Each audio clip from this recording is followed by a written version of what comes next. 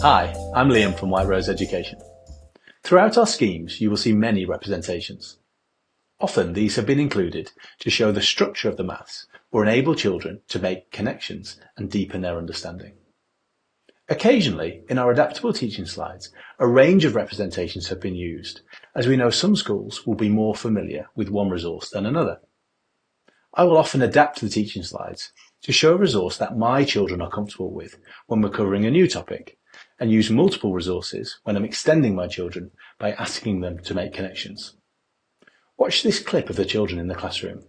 What do you notice about how the teacher uses the representations and how this affects the children's understanding of the concept being taught? Okay, good morning year two. We are going to be today learning how to add by making 10, okay? So the first thing I'd like to show you is two different representations.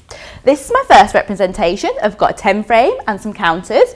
And then I've got a second representation with my number line. So the first thing I'd like you to do is I would like you to have a think about this question. And my question is, what do you notice? And in a second, you're going to speak to your partner and you're going to say, I notice, and have a think about any similarities or any differences, okay? Off you go. Talk to the person next to you. I, I noticed there was Andy?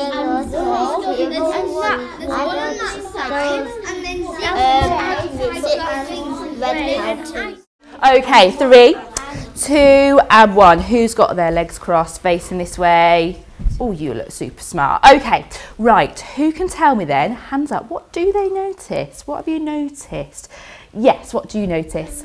I noticed that 4 add 1 equals 5 and 1 add 4 equals 5 and you can and you can switch round. Okay, so you've noticed that there are four yellow counters, add one more in the tens frame, but you've also noticed you've added four and then one more on the number line. Super, well done, thank you. Okay, what do you notice?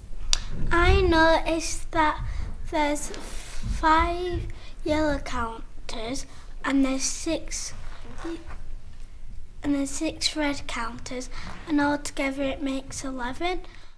The 10 frame was used to support and scaffold the children's understanding of the decimal number system and the importance of making 10. This is then reinforced by the jumps shown on the number line. Throughout our teaching slides, you may see a variety of representations.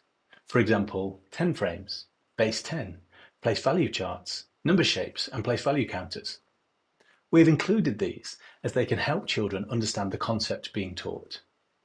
We know multiple representations can sometimes overwhelm children. Due to this, I often adapt our teaching slides and use a consistent representation where it is appropriate to the mathematical concept being taught. Thank you for watching and subscribe for more videos like this one.